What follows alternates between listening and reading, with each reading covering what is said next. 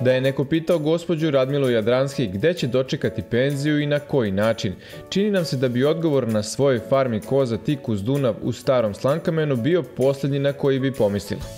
Ipak sudbina je želela da zameni život kraj Save za Dunav, da držanje tek jedne koze preraste u skockanu farmu koza, koju drži sa svojim životnim saputnikom Đuricom. A kozarska priča ove živahne dame krenula je sasvim slučajno, ali kako to biva ljubav prema ovim životinjama buknula je na prvi pogled. Ja sam zahvalna kozicama i zaljubila sam se u njih onoga, od onog perioda kada, kad sam u tranziciji ostala bez posla, da ne bih pala na teret da a gorivo treba sipati u auto da idem kolima posao. Ja sam počela od jedne kozice, koju, jedne koze koju sam dobila na poklon i od te jedne koze one su, one su reproduktivne da, da to kogod hoće brzo može da proširi stado. Reputacija koja je pratila koze otežavala je Radmilin početak. Naime, pošto su ove životinje smatrane kao sirotinski, protivljenje Radmilinog brata za držanje čak i jednog grla bilo je odlučujuće da se naša sagovornica odrekne svoje koze i pokloni. Ipak prava ljubav zaborava nema. Radmila bez koza nije mogla i ubrzo je na svoju ruku odlučila da se osamostali, započne zidanje svoje kuće i ponovo su koze postale njena svakodnevnica. A koliko je bila požrtvovana za svoje životinje, govore u prilog i naredne reči ove dame. Moji iz firme su me znali, ja sam vozila fiću. Krug fabrike se čistio, kosio. Ja na pauzi ne idem na ručak, ponesem radno odelo na parkingu, presvučem se i u fiću pokupim tu travu. Ja idem kući, samo se glavica vidi fića pun trave. Da ne maltretiram sina, da mi kosi ni, ni, ni brata, ni nekog. Snalazila sam se dok nisam upoznala Đuricu, koji mi je predložio da sa kozama odemo u stari slankamen da živimo, govori u dahu Radmila. Pristala je i čini se da joj je to i promenilo život. Ne samo što je ona živnula u ovom mikroklimatu pokraj Dunava, već su i kozice srećne, te ih svakodnevno izvode na ispašu na tri okolna ostrova. A raj za koze. Prevozimo, im čamce, prevozimo ih čamcem, tamo su i danju i noći. Kiša kad pada, one se sklone pod. One imaju, uh, njihova koža je masna, one nemaju neku dlaku veliku, ali njihova koža je masna, sa njih se voda sliva. Njima ne smeta.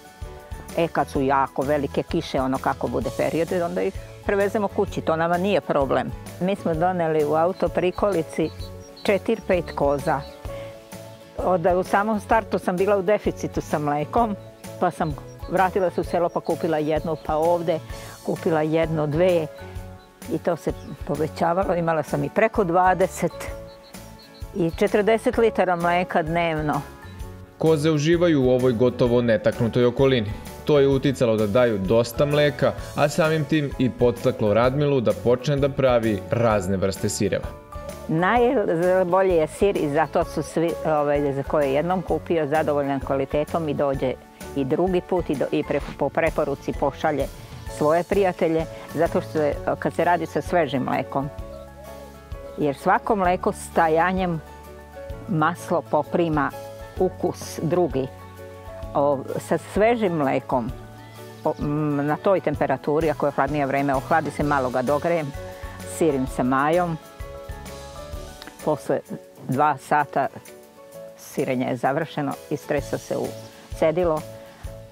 Pola sata, zavisi kakav je, se cedi i stavlja se u kalup. Pravila sam u, srećno vreme po pet, 15 vrsta sireva. Imam delikatesi, sir u paprici, ali kad stigne paprika, trajni kačkavalji sa mirođijom, veoma, veoma ukusan i pikantan, kimi mirođija, semenke, druga vrsta sa ljutom paprikom. Pravila sam i rolovani, što je veoma je komplikovan i teško. Ove, ali to više mi ode to na, na prezentaciju, međutim sad ni to ne mogu da se borim jer godine čine svoje. Zbog godina Radmila više ne može da postigne da napravi mnogo sira, iako govori da bi mogla da proda sve što bi i napravila. Jednostavno, Beograđani i Novosađani svakodnevno svraćaju i ne pitaju za cenu. koliko god da mi je teško, što to radim sa zadovoljstvom, sa ljubavlju. Moraš da budeš posvećen svakom poslu i ako ga radiš sa ljubavlju, ništa nije teško. Meni nije teško, ja ustajem u četiri sata jer ja onda preko dana mogu da odmorim u, toj pauzi i da nijedan posao deco nije, te, nije težak koliko god da je težak ako se radi s ljubavlju. A posao malo olakšaju kučići, bez kojih ova farma ne bi bila ista. Svaki ima svoj zadatak. Ovaj Pulin čuva, Pulin čuva koze. On je danonoćno sa njima na ostrvu. Drugi čuva kokoške od lisova, jer ovo je planina. Lisovi silaze, preko krova siđu. Dok njega nisam imala, a znate kako se zove? Munja. Adekvatno svom ponašanju. Od nedavno na ovoj farmi meketanje je jače nego uobičajeno, a razlog je to što se brojnost tada dobrano povećala. Naime, nije redkost da na Radmilinoj farmi koza ojari tri komada. Ipak nedavno su bili pozitivno iznenađeni, pošto je jedna od njihovih ljubimica na svet donela petorke. To je samo po sebi sizifovski posao, priča nam naša sagovornica. Komešanje u boksovima je ogromno kad dođe vreme da se hrane. Jarići su nestašni, skaču na sve strane, a hrane se tek po dvoje. Ipak koliko god bio težak posao, Radmila osmeh sa lica ne skida. Dokle god bude mogla i sa štapom, ja ću da držim u smanjenom obimu normalno, jer one su moja ljubav, moja razonoda, moja...